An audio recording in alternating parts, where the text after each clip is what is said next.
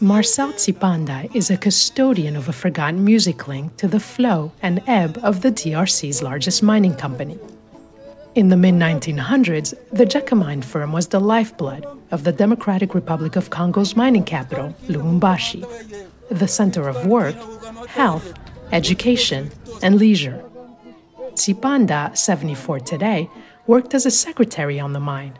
On weekends, he was guitarist for young groups paid by its social club to sing and dance for mining communities.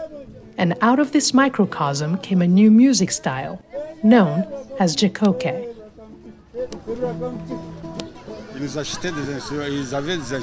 They bought us instruments, they provided us with instruments, and we would perform on a Saturday, for example.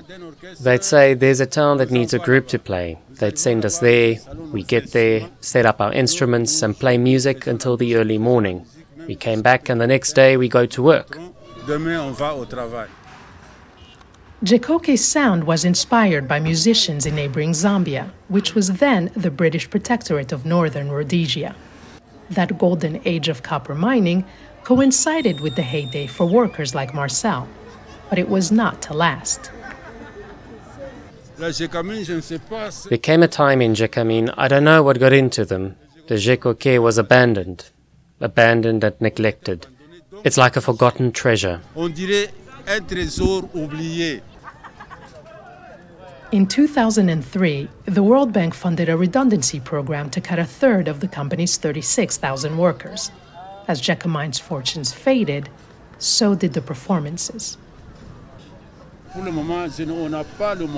At the moment, we can't afford to buy instruments, for example.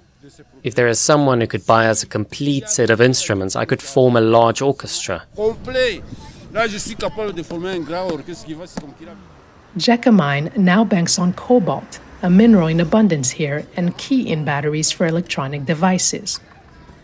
Will it pay off for Jecoké?